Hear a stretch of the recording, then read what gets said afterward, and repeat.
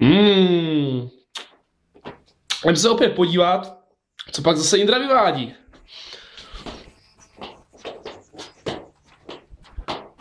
Hmm, Indro, co to tady děláš? Hmm, já tady zkoumám tuhle tu lžíci na odevírání bod. Jo, Nebo taky píva, ale teď je otázkou, jestli když je takhle měkká, jako jestli s tím to pivo vůbec půjde odevřít. já si myslím, Indro, že to dáš, ne? Tak to vyzkoušíme. No. Hmm. Hmm.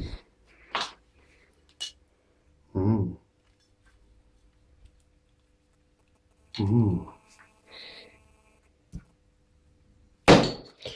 Indro, Wow. hezky, pěkně, ty jo. Mega tak. Mm. Tak to by mě nenapadlo tohle, takhle to otevřít. Ale asi to byla velká rána, jako. Hmm. Asi jo, tak jo, Indro. Nazdar. Čau. Hmm. Tohle mě prostě baví. Hmm.